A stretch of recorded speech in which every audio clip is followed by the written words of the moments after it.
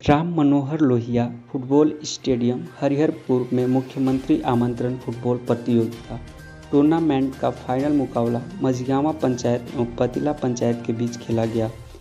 कांडी से धीरेन्द्र विश्वकर्मा की रिपोर्ट। गढ़वा जिला के कांडी प्रखंड अंतर्गत राम मनोहर लोहिया फुटबॉल स्टेडियम, हरिहरपुर में हो रहे मुख्यमंत्री आमंत्रण फुटबॉल प्रतियोगिता टूर्नामेंट में कांडी प्रखंड के 16 पंचायत खेले, जिसमें फाइनल मुकाबला में मझगावा पंचायत एवं पतिला पंचायत के बीच खेला गया। इस मैच में रेफरी की भूमिका दुर्गा राम ने निभाया और मैच का प्रखंड अध्यक्ष सह प्रभारी लक्ष्मण राम गुरुजी थे। इस मैच का शुरुआत हरिहरपुर ओपी प्रभारी शौकत खान एवं हरिहरपुर सांसद प्रतिनिधि सूर्यदेव सिंह ने फीता काटकर शुभारंभ किया। दोनों पंचायत के बीच कड़ी मुकाबला खेला गया और अपने पंचायत के मान सम्मान बचाने के लिए मझगावा पंचायत के मुखिया पति सुभाष राम ने मैच खेला, लेकिन समय निर्धारित दोनों पंचायत के टीम बराबरी पर रहे।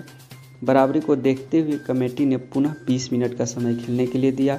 फिर भी दोनों टीम बराबरी पर रहे। अंत में प्लांटिक शॉट मारा गया, जिसमें पतिला पंचायत की टीम ने एक कुल से बढ़त बनाते हुए जीत दर्ज की।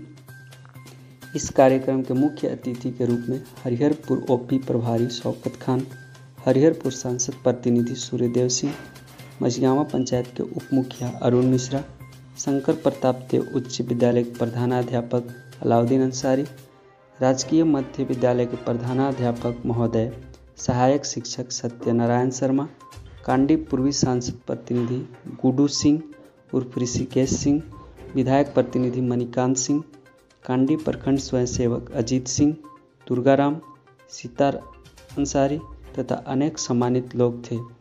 सभी मुख्य अतिथि को कमेटी की ओर से बुक्स देकर सम्मानित किया गया।